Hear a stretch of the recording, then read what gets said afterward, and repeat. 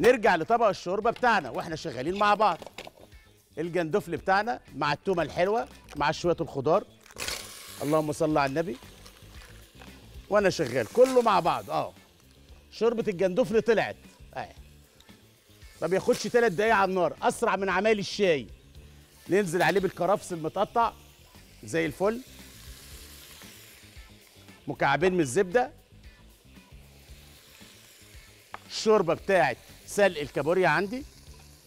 إيه الأخبار هنا؟ مكرونة سباكيت أهيت. ده المطبخ أهو.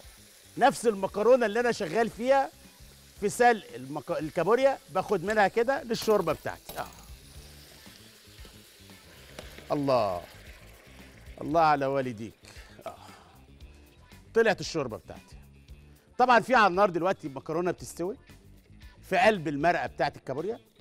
في طبق شوربة بعمله دلوقتي أهو.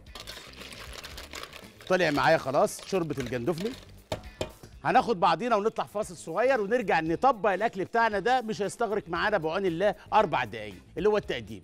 اوعوا تروحوا بعيد تابعوني بعد الفاصل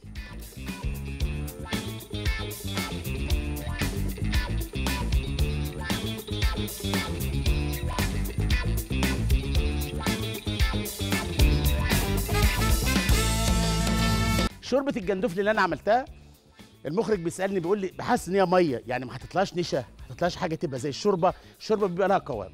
ال seafood عموما ما بيحبش إن إحنا نربطه بأي دقيق ولا نشا إلا إذا كان شوربة ال seafood شوية بنحط معلقة نشا عشان القوام. ولكن مدرسة المغازي بتقول إيه؟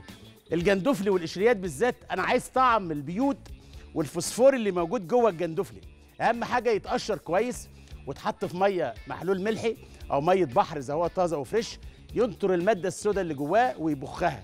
واخده بعد كده أغس- أغسله بميه ساعه ويكون جاهز عندي. بعمل الخلطه بتاعتي توم كرفس زيت زيتون اذا أنا حب آه، حبه زيت زيتون أو زبده وانزل الجندفلي ده في قلبيه كده ما ياخدش ثلاث دقايق واحط له الكرفس بالشكل اللطيف اللي حضراتكم شايفينه.